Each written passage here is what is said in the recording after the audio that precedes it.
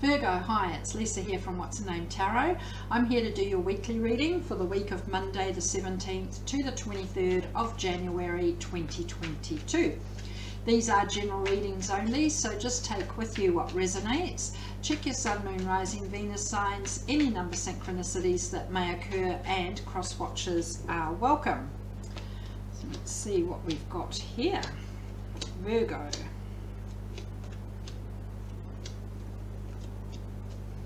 Princess of Swords, ready to take action this week.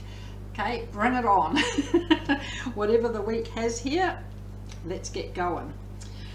Past energies, you had the Ace of Wands, the Universe, Eight of Pen Eight of Cups, sorry. Just to show you, I was going to say Pentacles okay but some sort of whole new chapters some sort of whole new journey here. There's an emotional attachment that's been able to be walked away from that's been holding you back here but divine timing. That timing is happening for a reason and back there in the past may have been that timing to leave something or someone behind here to focus on a whole new journey present energies, Princess of Cups, transition, the Chariot. Could be dealing with Scorpio or Cancer here, but there's love on offer, whether you're offering love, someone's offering love to you, you're ready to leave that past in the past and focus on where this energy is moving forward, this whole new chapter here. Could be an existing relationship, it may be somebody extremely brand new. Overall though, bring it on, you may be ready for this future energies. You've got the ten of wands eight of wands the deceiver. Could be dealing with a capricorn but bringing an end to this burden of feeling like you're on this journey on your own possibly this negative energy that has been happening here but keeping the communication flowing. Everyone on the same page. Decisions that do need to be made quickly but bringing an end to that cycle of being on that journey on your own because possibly from here there is somebody on that journey with you. And that may break free from these bindings here with the devil or deceiver there. So Virgo let's clarify all of these see what's going on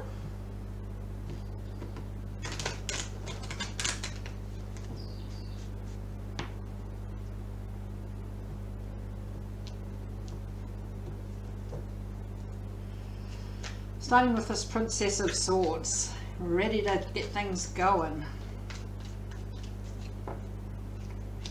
Two of Swords, the Fool, Knight of Swords.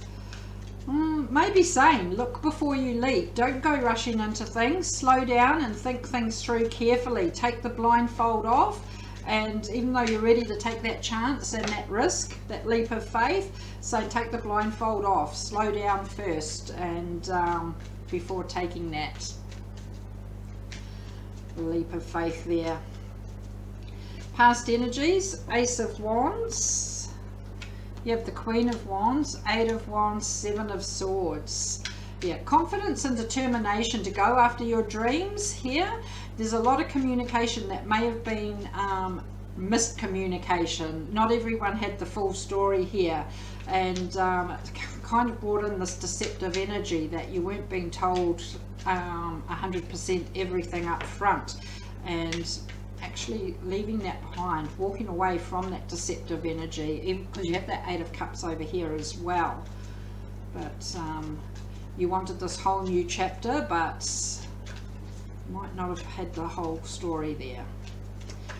Got the universe with the Queen of Cups Seven of Cups, Three of Wands. Yeah, and I think that was that wake up moment. You actually realized, okay, somebody's not giving me the full story here.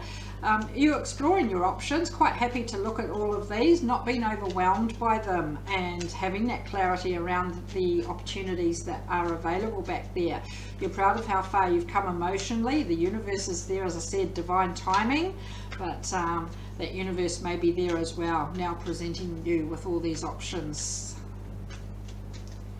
And the Eight of Cups in the past, Virgo, you had Ace of Swords, look at that, Five of Cups, Two of Wands. Yeah, going through some sort of emotional loss and grief. Just because you walk away from some sort of attachment, whether it's someone or something, it doesn't mean that you can just switch things off just like that. It is clearing the crap out from the past, when you're in the past energies to focus on this whole fresh new start. And always say don't let others tell you to hurry up and move on. Everybody does this in their own time and own way but you do have this focus of where you do want to be heading towards and what needs to be left behind in order to start that journey. Present energies princess of cups.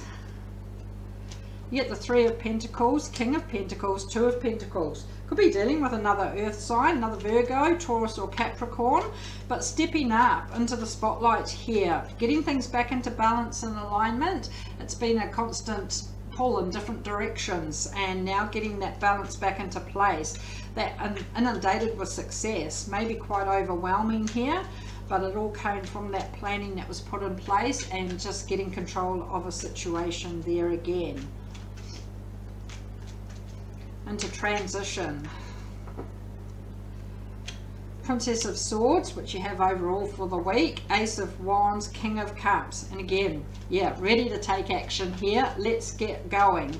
Leaving that past in the past. You may be waiting for an apology. You may be waiting a long time. Focusing on this whole new chapter that lies ahead. Being in control of your emotions gets things moving.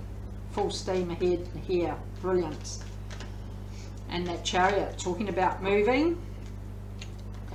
Judgment knight of wands ten of cups yeah, keeping an open mind towards where this chariot is actually heading towards. Um, it may be a roller coaster ride, but um, you're willing to have that stability um, and see this through.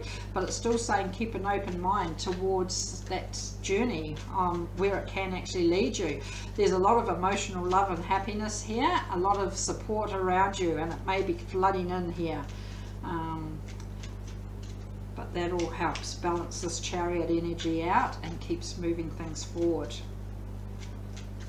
Future energies, Ten of Wands. You've got the Hierophant, Nine of Swords, the Sun. Yeah, an end to the sleepless nights, that burden and this um, stress that's been going on.